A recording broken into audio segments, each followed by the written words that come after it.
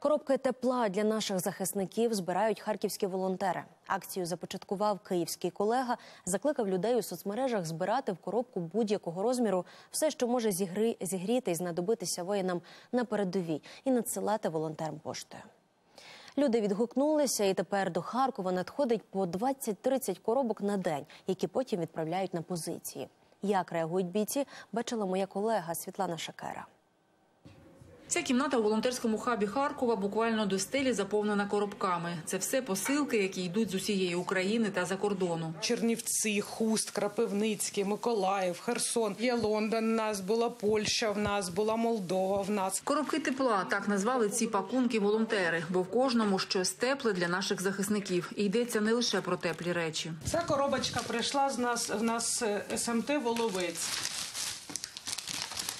Це карпатська коробочка. Ось що люди сюди вложили.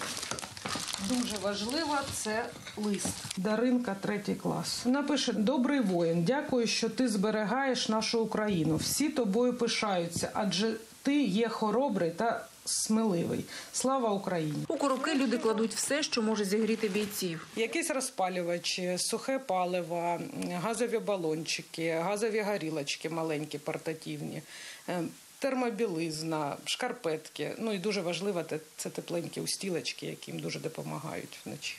В'язані вовняні шкарпетки справжня знахідка на фронті. Такий лайфхак у хлопців є. Вони е, навіть іноді бігають по багнюки не в берцах, а в шкарпеточках таких шерстяних і в сланцях, бо багнюка менш наліпає на ці е, шкарпеточки. Михайло у минулому волонтер пішов на фронт кулеметником. Зараз після поранення збирається повертатися до своїх на Донецький напрямок. Сюди зайшов попутно забрати коробку.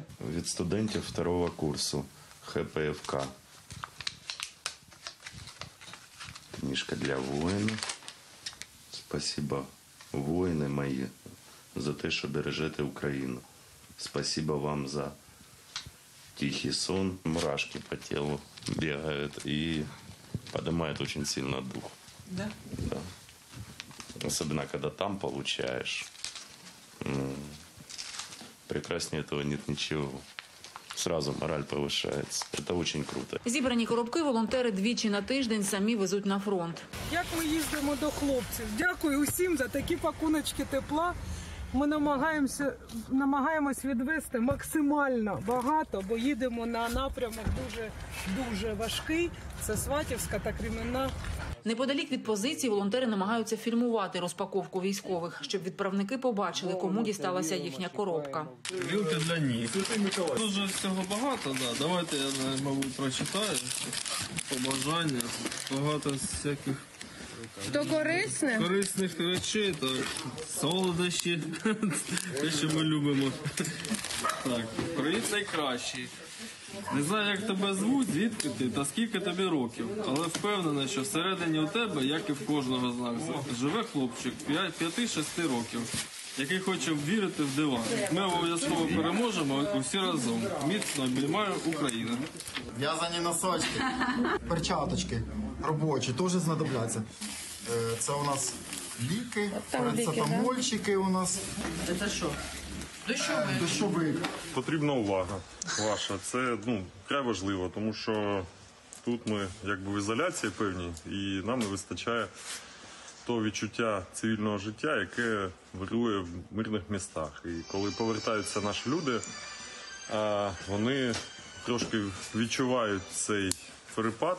І коли ви приїжджаєте з подарунками, коли надсилаєте гарні слова, коли ми відчуваємо ваше тепло і ментальне, і фізично в вигляді цих чудових спальників, нам стає тепліше і з'являється мотивація для того, щоб продовжувати боронити нашу країну. За місяць волонтери передали військовим більш як чотири сотні таких коробок і продовжують їх збирати, бо попереду важка зима в окопах. Бо це не про фізичне тепло акція, а акція підтримки. Кожна людина може особисто передати бійцю, і він я- на якусь мить може відчути себе як вдома. Світлана Шикера, Олександр Яновський. Подробиці телеканал Інтер. Марафон. Єдині новини.